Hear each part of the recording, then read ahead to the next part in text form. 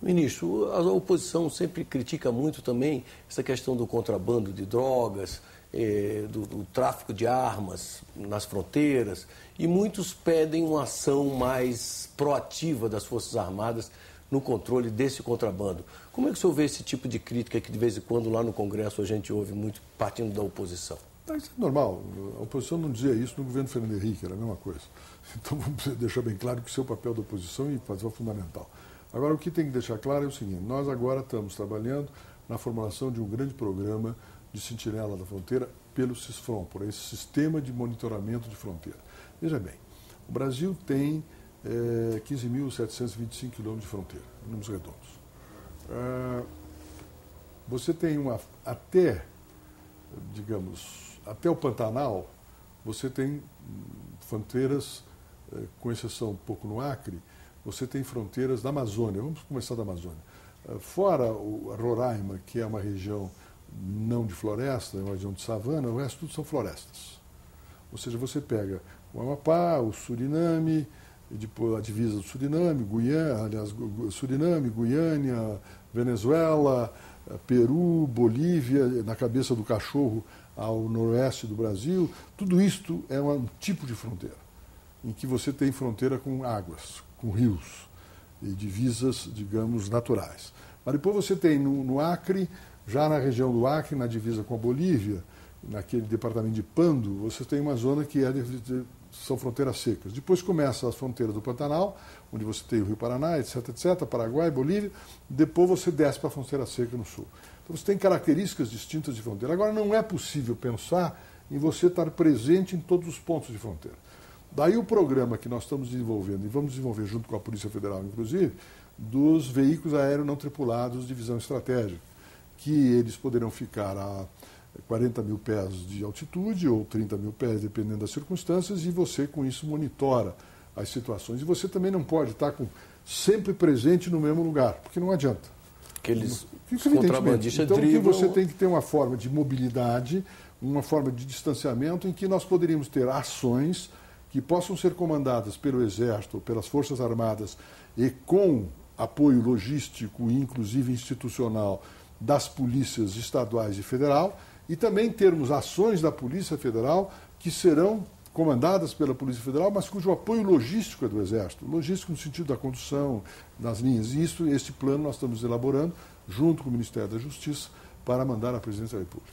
Outra mudança importante durante sua gestão no Ministério da Defesa foi exatamente a retirada da área da aviação civil, da defesa, para a presidência da República. As condições hoje de voo melhoraram no Brasil? Bom, eu não falo mais sobre isso. Porque eh, eu, desde que. Quando eu, na verdade, eu vim para o Ministério da Defesa, no governo Lula, e o convite do governo Lula foi decorrência desse problema da aviação civil.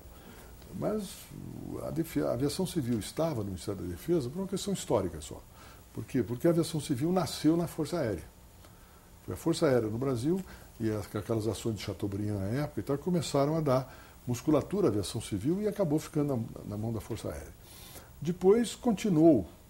Aí se surgiu no governo Fernando Henrique, eh, começaram a surgir, digamos, a transferência daquelas áreas para o setor civil, que foi a questão da Infraero, que era uma instituição da, da Força Aérea, foi para constituiu a empresa pública nacional, depois veio o ANAC, mais tarde já no governo Lula, transferindo a regulação para uma, uma, uma agência, eh, ficou na Força Aérea o controle do espaço aéreo.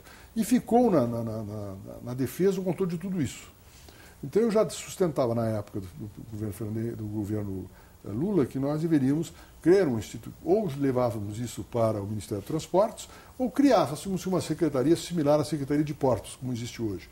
E aí a presidente Dilma resolveu, então, caminhar por essa solução, de criar uma Secretaria da Aviação Civil, que agora passa a controlar, ou pelo menos regular. E agora também a decisão tomada, recentemente anunciada eh, pela, pela, pelo chefe da Casa Civil, de que nós vamos colocar o setor, que o governo resolveu trazer também o, de, o setor privado para essa área. Essa... Eu acho isso absolutamente correto. O aeroporto é uma rodoviária hoje. Se você lembrar, você não, talvez, da nossa idade, eu lembro quando a gente viajava de avião, você botava tomava banho, botava gravata, as mulheres se vestiam e se pentravam e o diabo quatro. E agora o que, que acontece hoje?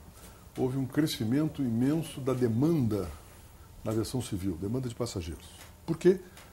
Porque teve dois fenômenos. De um lado, a queda dos preços das passagens, quando se introduziu em 2005 a liberdade tarifária, em que você estabeleceu a concorrência entre as, entre as empresas. Caiu o preço das passagens e aumentou a renda do cidadão.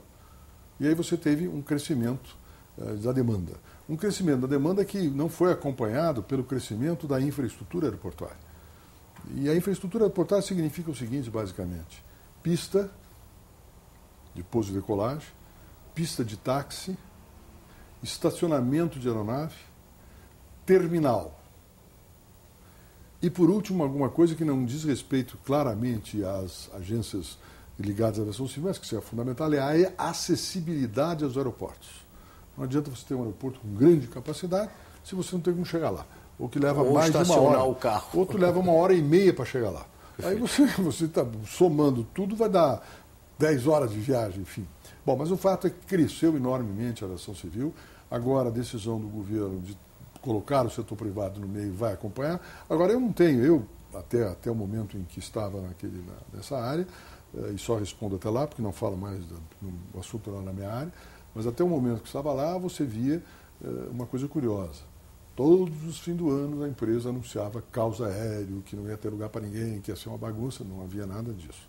Funcionava direitinho, claro, evidentemente com uma enormidade de gente dentro dos aeroportos, mas as coisas fluindo, os atrasos dos voos reduzindo substancialmente. Uh, nós temos alguns problemas de, de meteorológico e você não tem como evitar, evidentemente, salvo se alguém quiser correr o risco de voar em situações dessa natureza. Agora, o fato é que a aviação civil no Brasil é a expressão do desenvolvimento do Brasil.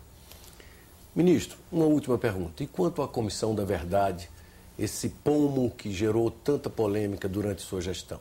Polêmica gerou num determinado momento, é, quando se elaborava um, um decreto do presidente da República para a criação de uma comissão para elaborar um anteprojeto de lei. Naquele momento, eu sustentava, e ainda sustento, duas coisas. E agora já mais comodamente, inclusive, tendo visto a decisão do Supremo. Tribunal sobre a vigência da lei da anistia. Eu dizia o seguinte, que a anistia sim tinha sido para ambos os lados, ou seja, usava a palavra bilateral, que não é bem adequada, mas as pessoas entendem. Tecnicamente não seria adequada. Mas a anistia ampla, geral e restrita, nesse sentido global. É, alguns sustentavam que não, que a anistia somente tinha sido feita aos grupos eh, chamados à época eh, do regime militar de grupos subversivos e que as forças legais, ou seja, as forças do Estado, não, não tinham sido anistiadas. E a Comissão da Verdade, uns setores diziam que o, decreto, que o decreto que criava essa comissão tinha que determinar que essa comissão elaborasse um projeto para examinar somente a memória relativa à repressão política. E eu sustentava que não, que você tinha que fa fazer a recuperação da memória de todas as ações relativas a direitos humanos ocorridas durante um período X de tempo. Praticadas pelo Estado e praticadas por organismos não estatais, ou seja, por organizações não estatais, ou seja, numa análise global. Foi essa a discussão que o presidente Lula optou pela solução final, que foi essa. O anteprojeto foi feito com a participação de representantes do Ministério da Defesa. Nós estamos absolutamente favoráveis ao anteprojeto na sua integralidade, inclusive estou conversando com o Congresso Nacional, que é o órgão final que vai decidir definitivamente a matéria, no sentido de que caminhem para a aprovação do texto enviado pelo Executivo. O senhor acha que essa, essa questão está deslindada? Na minha área, tá, tá, tu, vai, vai, tu vai ouvir uma voz daqui a colar, é, como faz parte do processo democrático, uma voz principalmente do pessoal de alguns setores da reserva, que, não gostariam disso, ou que gostariam de uma forma ou de outra forma, mas isso faz parte do jogo. Nós temos que lembrar o seguinte, o Brasil precisa fazer um grande acordo com o seu futuro.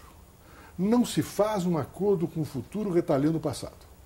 Nós sabemos, a experiência democrática mostra, inclusive nos processos eleitorais, que se um governo eh, de oposição assume um determinado, ganha uma eleição, se ele se destinar a retalhar o passado, ele vai perder uma energia brutal e não vai conseguir fazer governo. O que nós precisamos é construir o futuro. Vamos saber o que aconteceu no passado, não para retalhá-lo mas para conhecê-lo e recuperar a sua memória. Este é o sentido da Comissão da Verdade. Ministro, com a morte do Bin Laden, e esses rumores de que existem bases terroristas lá na tríplice fronteira hum. Brasil, Argentina e Paraguai. Como é que o senhor, como ministro da Defesa, reage a esse tipo de rumor? Veja bem, isso, isso é um rumor antigo. Né? Isso é um boato que já vem há muitos anos. Desde que eu era ministro da Defesa, já eh, havia alguns setores que sustentavam a existência eh, de grupos terroristas, então não tem nada disso. O que tem lá são comerciantes. São comerciantes que uh, operam de um lado para outro, alguns deles fazem contribuições para as suas posições políticas de origem. Isso é um problema que não diz respeito. Ou seja, o Brasil, e nós temos que deixar bem claro o seguinte, em relação a essa questão do Bin eu acho que os Estados Unidos, o presidente Obama citou isso muito bem, não podemos confundir terrorista com islâmico.